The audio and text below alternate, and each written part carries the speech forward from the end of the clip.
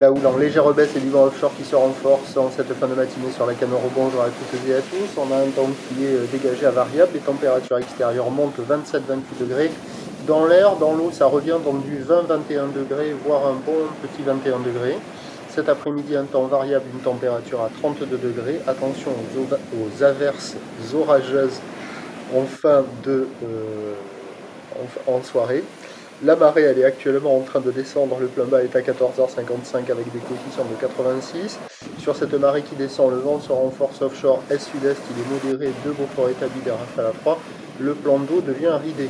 Alors là, toutes les vagues, toutes les images que vous allez voir en début de la vidéo, j'ai filmé ça de 9h du matin jusqu'à 10h. Et après, en toute fin de vidéo, j'y suis retourné pour faire une petite, euh, un petit panneau euh, sur les coups de euh, juste avant 11h. Donc, euh, et donc euh, le vent le plan d'eau ridé, les phases de vague sans lisse, là où il est propre, une houle qui est moyenne de 8 secondes de période, orientée ouest-nord-ouest à nord-ouest, relevé sur la boire cachant de Gascogne à la baisse à 70 cm et 6 secondes. Et là, pendant toute la matinée, on voyait que ça s'amortissait petit à petit. Il y avait, il y a encore 50 cm en déferlement régulier, 70 cm sur la majorité des séries, et il traîne encore 80 cm sur les grossettes, mais qui se font rares au fur et à mesure que la matinée avance.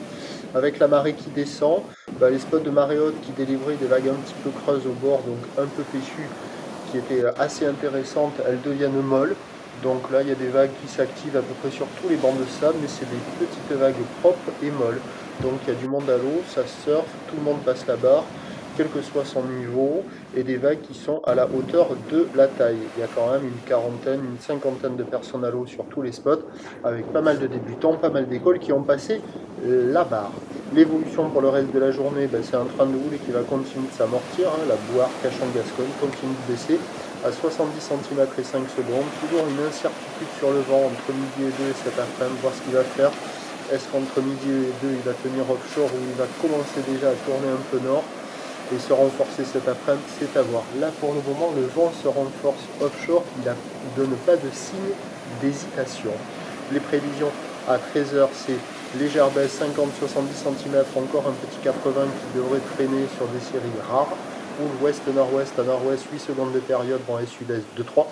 Et à 17h, ça baisse à 50-70 cm maximum ou l'ouest-nord-ouest à nord-ouest, 8 secondes de période, vent prévu nord-nord-ouest de 3 Beaufort.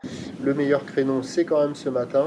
Et puis à surveiller l'évolution entre midi et 2, si le vent tient, avec la marée basse et pas mal de couettes, il peut peut-être y avoir quelques vagues assez jolies sur le large, sur les grossettes. Et cet après-midi, ça devrait se dégrader, mais le vent, il va hésiter aussi cet après-midi, donc c'est à surveiller. Le prochain point, c'est à 13